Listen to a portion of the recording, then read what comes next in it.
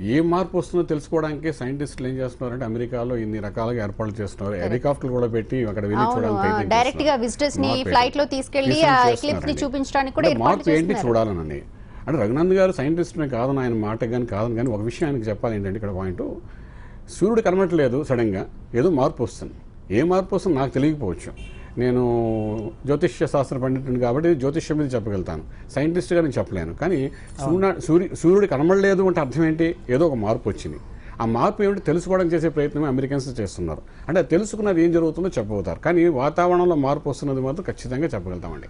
వాతావరణంలో మార్పు వచ్చినప్పుడు ఈ ప్రపంచంలో ఆయన చెప్పిన భూమి ఉపతల ప్రాంతంలో ఉన్న వాతావరణం మారుతుంది సముద్రంలో వాతావరణం మారుతుంది.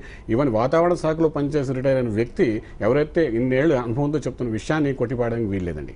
ఎందుకంటే ఆయన ఎంతో అనుభవంతో చెప్తున్న విషయాలు అది. ఓకే రిటైర్ అయినప్పుడు కొంత అనుభవంతో చెప్తారు. సో వాతావరణంలో కూడా మార్పు జరగదు అసలు ఏమీ జరగదు. అసలు అది ఓన్లీ ఆ సూర్యగ్రహణం చూడడం కోసమే అమెరికన్స్ ఇన్ని వేల కోట్ల డాలర్స్ ఖర్చు పెడుతున్నారు అంటే I don't agree with that. ఎందుకంటే ఏదో మార్పు జరగబోతోంది. ఆ మార్పు ఏంటంటే అన్నిటి ముఖ్యమైనది సురేష్ ఏం చెప్పారంటే ఇక్కడ- వినండి.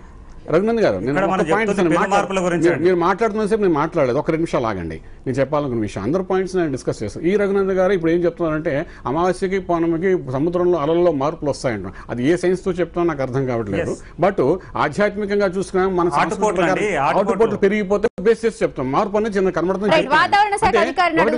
అదే. వాతావరణ సంబంధం? వినండి వినండి ఇక్కడ. అదే వాతావరణ సంబంధం విషయం ఆయన మాట్లాడుతున్నారు. మాట్లాడి అంత ఏకీపిస్తున్నారు ఒక పాయింట్ ఆయన ఏకీపిస్తున్నారు ఇంకో పాయింట్ ఏకీపించట్లేదు దీని అర్థం ఏంటి నాకు అర్థం కావట్లేదు బేసిక్గా. ఈ ఖగోళ శాస్త్రపరంగా ఒక సైంటిస్ట్ చెప్పే విధానాన్ని మేము జ్యోతిష్యపరంగా ఎలా చెప్పాలనుకుంటున్నాం అంటే సూర్య కిరణాలు భూమి మీద పడినప్పుడు ఒక్కొక్క ప్రాంతం మీద పడినప్పుడు ఒక రకమైన వాతావరణం మార్పు వస్తుంది మేడం.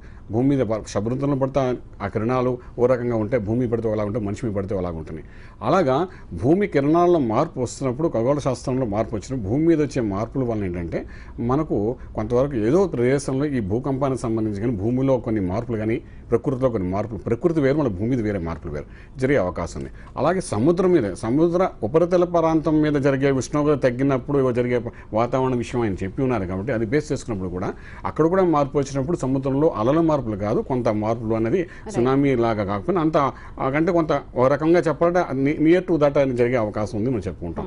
ఇంకొకటి తొంభై తొమ్మిది సంవత్సరాల క్రితం ఏం జరిగింది మనం చూడలేదు. మన సాంశీరావు గారు అంటున్నారు ఇలా వస్తాయి వెళ్తాయి వస్తూ వెళ్తుంటే ఇందులో పెద్దగా చెప్పుకోవడానికి లేదని అంటున్నారు. కానీ చెప్పుకోవడం లేకపోతే ఇన్ని వేల కోట్ల మంది అక్కడ ఎందుకు చూస్తారు? ఏదో విశేషం ఉందని కాబట్టి అందరూ చూస్తున్నారు. సో డెఫినెట్లీ నేను అదే ఆ మార్పు అనేది జరుగుతుంది. జ్యోతిష్ శాస్త్రంలో కూడా ఇది మార్పు గురించి చెప్పి ఉన్నారు. ఎలా చెప్తారంటే ప్రకృతంలో వైపరీత్యాలు జరుగుతాయి. ప్రకృతి వైపరీత్యాలు విషయంలో తొంభై తొమ్మిది సంవత్సరాల క్రితం జరిగినప్పుడు అప్పుడు ఒక టీవీ లేదు ఒక కెమెరా లేదు ఒక మనిషి లేడు దాని గురించి పట్టించుకునే వాళ్ళు జనాలు కూడా తక్కువ ఉండేవారు. ఎక్కడో ఏదో జరిగింది మనకు తెలిసేది కాదు. అంటే డిస్కవరీ అయ్యేది కదా దాని గురించి.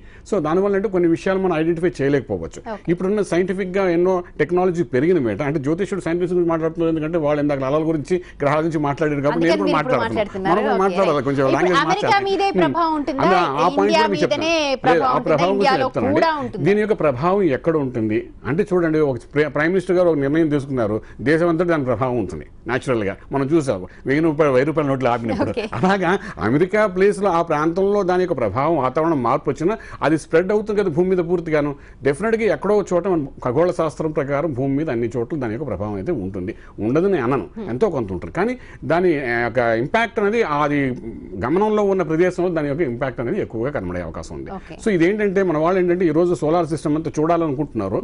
చూస్తే ఏం జరుగుతుందో సైంటిస్టులు అంటున్నారు. ఏమంటే మేము వర్షం తడవడానికి వెళ్తామండి మధ్యాహ్నం. వెంటనే జ్వరం వచ్చేదండి. రాత్రికి వస్తుంది జ్వరం. ఒప్పుకుంటారు ఒప్పుకోరు అందరూ మధ్యాహ్నం తడిస్తే రాత్రికి వస్తుంది. అప్పుడు టాబ్లెట్. వేసుకుని వినండి వినండి మాట వినండి. ఇప్పుడు గ్రహణం ఇవాళ జరుగుతోంది జరుగుతుంది ప్రభావం. ఇప్పుడు రాత్రి రాత్రి ఇప్పుడు ఇప్పుడు లేదు. కాదు. దాని ఎఫెక్ట్ ఉంటుందండి. ఆ ఎఫెక్ట్ దీని రిలేటెడ్ సైంటిస్టులు ఏం చేస్తారంటే సైంటిఫిక్గా ఆలోచించి దీని ప్రభావం ఎలా ఉంటుందో ఐడెంటిఫై చేసి ఇది ఇన్ని రోజుల్లో దీని ప్రభావం కనిపిస్తుంది. భూమి మీద ఇంత ప్రభావం కనిపిస్తుంది. సముద్రం మీద దీని యొక్క ప్రభావం ఇదే think డెఫినెట్గా interfere, ఇప్పుడు huh? రఘునందన్ గారు చెప్తున్నట్టుగా డెఫినెట్ కనబడుతుంది ఇప్పుడు ఆయన కూడా నేను ఏకీపిస్తున్న విషయంలో. కనబడుతుంది కానీ రాత్రి రాత్రి దానికి ఏదో కూడా ఏకీపించే అక్కడ గ్రహణం జరుగుతుంటే ఇక్కడ జరిగిపోతున్నది కాదండి ఇక్కడ బేసిక్గా మనం చెప్పాం కదా మనం వర్షం తడిస్తే మధ్యాహ్నం తడిస్తే రాత్రి మనకు జ్వరం వస్తుంది. అది అందరికీ తెలిసిన విషయం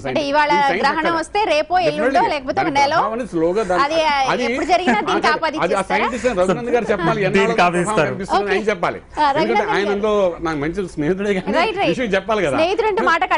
చెప్పండి. చెప్పండి. నేను అది ఎప్పుడు జరుగుతుంది? మార్పులు మార్పులు అయితే ఉంటాయి. మార్పు లేదు అంటే సైంటిస్టులు ఎందుకు మన దగ్గర మాత్రం ఇళ్ళలోకి పరిమితం అయిపోతాం తినకూడదు తా తాకూడదు అంటారు అసలు చూడకూడదు అంటారు. ఇంకా అంటే మనం అది ఏంటంటే అండి వాతావరణంలో మార్పు వచ్చేటప్పుడు ఏంటంటే మనం మనం మాట్లాడడానికి ఇది ఒక మంచి అవకాశం కాబట్టి చెప్తున్నాను. వాతావరణం మార్పు వచ్చినప్పుడు సహజంగా వీళ్ళు అంటుంటే మన వాళ్ళు గర్భిణీ స్త్రీలు చూడకూడదు ఇవన్నీ అనడం కారణం ఏంటంటే ఫుడ్ సిస్టంలోని నేచురల్లో మార్పు వస్తున్నప్పుడు అది should not be like a poison ఈ ప్రపంచంలో ఒక సైంటిస్ట్ ఉన్నాడండి ఒక అస్ట్రాలజర్ ఉన్నాడు ఒక మేధావి ఉన్నాడు అలా ఒక టెర్రరిస్ట్ ఉన్నాడు ఒక దొంగ ఉన్నాడు ఒక హ్యాండిక్యాప్ పర్సన్స్ కూడా తిరుగుతున్నారు. విశ్వవ్యాప్తంగా ఉన్నారు వీళ్ళందరూ ఎలా పుడుతున్నారు? సో ఏంటంటే కొన్ని కొన్ని నియమాలు అప్పుడు చెప్పారంటే పూర్వకాలంలో ఒక ఐదు వందల సంవత్సరాల క్రితం వెయ్యి సంవత్సరాల క్రితం శాస్త్రంలో చెప్పారంటే దానికి ఒక కారణం ఉంటుంది. ఆ కారణం వెలగాలంటే ఇక్కడ కూర్చుని ఓ రెండు మూడు గంటల కార్యక్రమం పెడితే మొత్తం అంతా వివరంగా చెప్పడానికి అవకాశం ఉంటుంది అనమాట. సో నేను అన్నది ఏంటంటే అక్కడ వాళ్ళు గ్లాసెస్ పెట్టుకున్నారు they taken care for it. ఎందుకంటే ఒక అద్భుతమైన దృశ్యాన్ని చూడాలనుకుంటున్నారు. డెఫినెట్గా మనం కూడా అలాగే చూడాలి. ఆ దృశ్యం చూడాలంటే మన కళ్ళతో అలాగే చూడాల్సి వస్తుంది. దృశ్యం చూడడం ఒక విషయం. వింత దాన్ని చూడొచ్చు తప్పలేదు. కానీ దాని ప్రభావం అనేది ముందు ముందు కాలం ఎలా ఉంటుందని ఒక రఘునందన్ గారు గారు కానీ లేకపోతే ఒక సైంటిస్ట్ గారు ఒక అమెరికన్ నాసా వాళ్ళని చెప్పి దాంట్లో ఏంటి మేము చెప్పి భయపెట్టించేది కాదు. ఇంత మారు వాతావరణంలో ప్రకృతి వైపరీత్యాలు జరుగుతాయి కొంత జరుగుతాయి. అది క్లియర్ కనబడుతుంది. ఆ జరిగినప్పుడు నేను రఘునందన్ గారు ఇక్కడ సీట్లో కూర్చొని మాట్లాడుకున్నాను Right, అదే విధంగా సముద్ర ఉపరితల ప్రాంతంలో జరిగిన మార్పుల వల్ల డెఫినెట్గా కొన్ని చేంజెస్ వస్తాయి. ఉట్టి అమావాస్య పౌర్ణమికే మనకు సముద్రం పొంగినప్పుడు ఇంత మార్పు జరుగుతుంది ఎందుకు జరగదండి? లాజిక్ అని వాళ్ళ చేతిలో ఉంది కదండి. చెప్పడానికి.